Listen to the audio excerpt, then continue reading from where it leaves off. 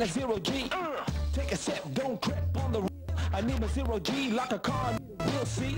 On the street, heartbeats on the concrete, working up the thirst. Gotta have a cool fruit burst, so better make mine fine. Rewind. Zero G gonna blow your mind. Zero G gonna blow your mind. Pick it up, it's zero G time. Zero G go, let's go. Kính chúc quý vị năm mới an khang, thịnh vượng. TV LCD Samsung khẳng định một đẳng cấp mới về hình ảnh, âm thanh và kiểu dáng. TV LCD Samsung thực sự chất lượng và xứng tầm với bạn. Xin thông báo, bây giờ là 19 giờ.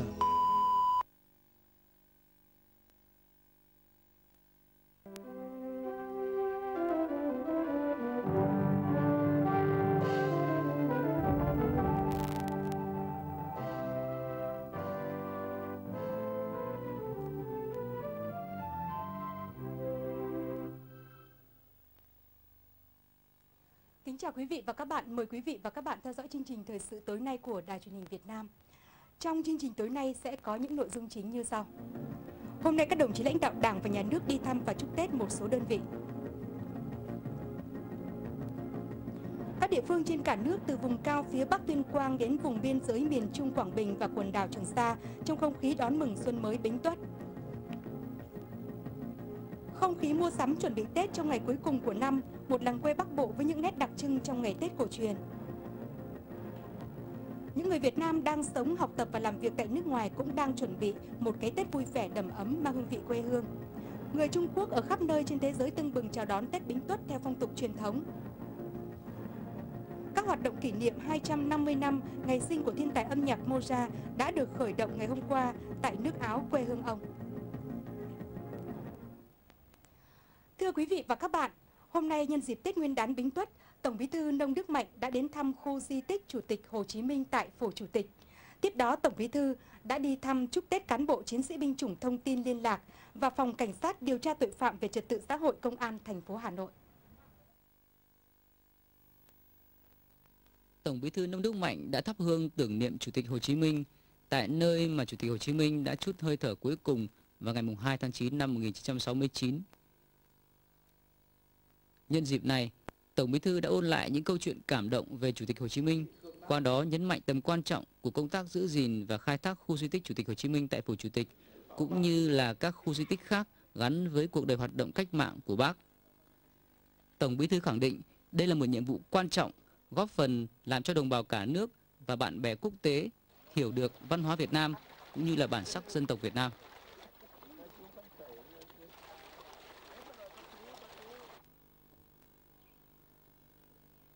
Đến thăm bộ đội thông tin liên lạc, đơn vị anh hùng lực lượng vũ trang với truyền thống 60 năm chiến đấu và trưởng thành.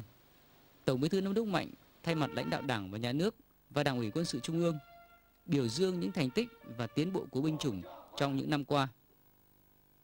Tổng Bí thư nhấn mạnh yêu cầu nâng cao bản lĩnh chính trị, tu dưỡng đạo đức như một đòi hỏi cấp thiết để hoàn thành nhiệm vụ. Tổng Bí thư đã nói chuyện trực tiếp với các đơn vị thông tin liên lạc đóng quân trên khắp cả nước và nói chuyện điện thoại với cán bộ chiến sĩ đang làm nhiệm vụ tại đảo Trường Sa.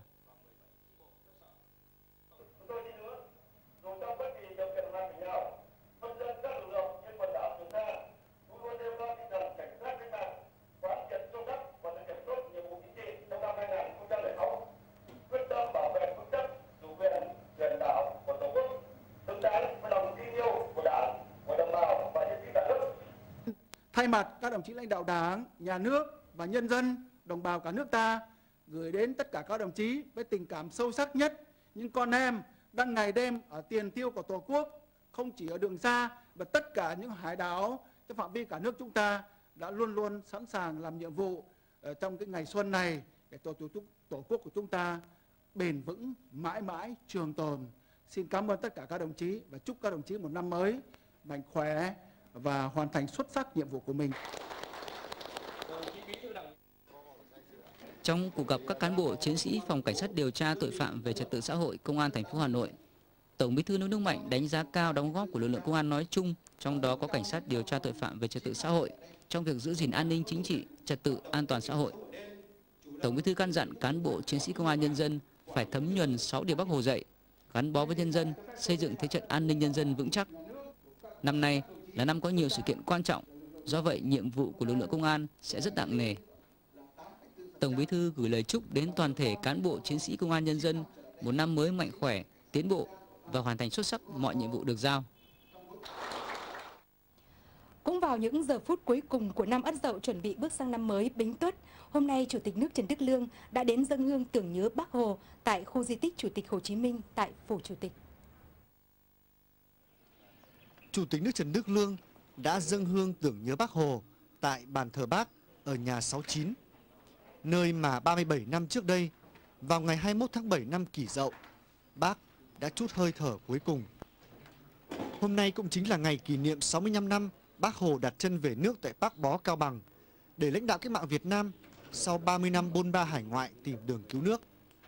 Nói chuyện với các cán bộ và nhân viên của khu di tích, Chủ tịch nước Trần Đức Lương nhấn mạnh vào những ngày Tết cổ truyền này của dân tộc, tất cả chúng ta đều xúc động khi nhớ tới Chủ tịch Hồ Chí Minh. Đặc biệt là ngày hôm nay lại trùng vào đúng ngày kỷ niệm 65 năm Bác Hồ về nước, một dấu ấn lịch sử quan trọng quyết định sự thành công của cách mạng Việt Nam. Nhân dịp này, Chủ tịch nước Trần Đức Lương đã chúc các cán bộ nhân viên khu di tích Chủ tịch Hồ Chí Minh một năm mới thành công.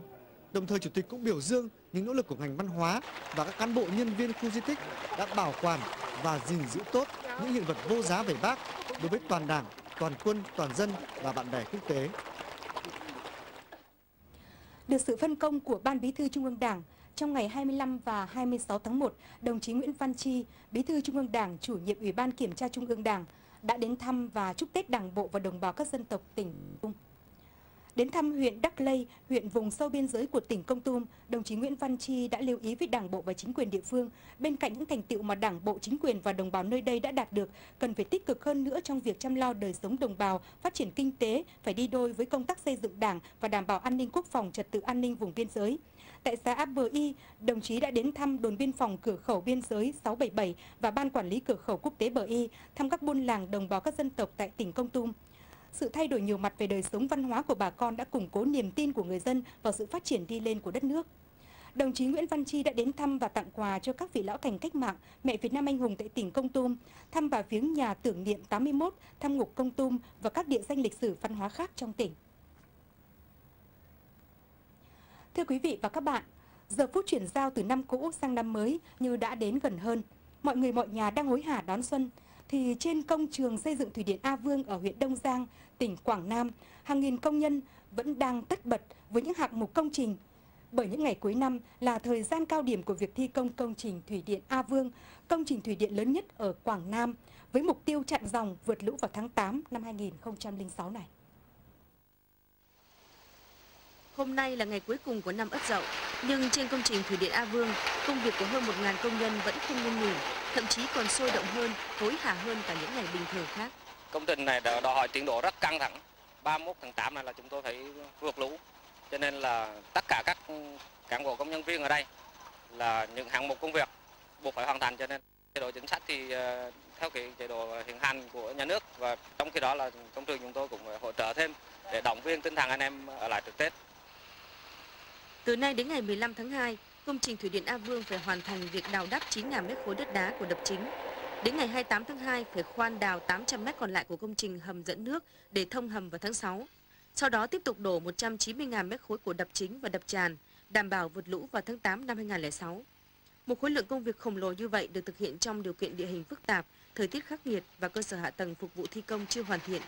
Vì vậy, việc ở lại ăn Tết trên công trường đã được lãnh đạo và anh em công nhân đồng lòng hưởng ứng. Hiện tại trong công việc của công trường thì nói chung còn rất nhiều công việc. Anh em chúng tôi thì một số anh em thì cũng về ăn Tết, còn một số ở lại thì à, trực Tết để làm nốt công việc còn lại để thực tế cái công trường công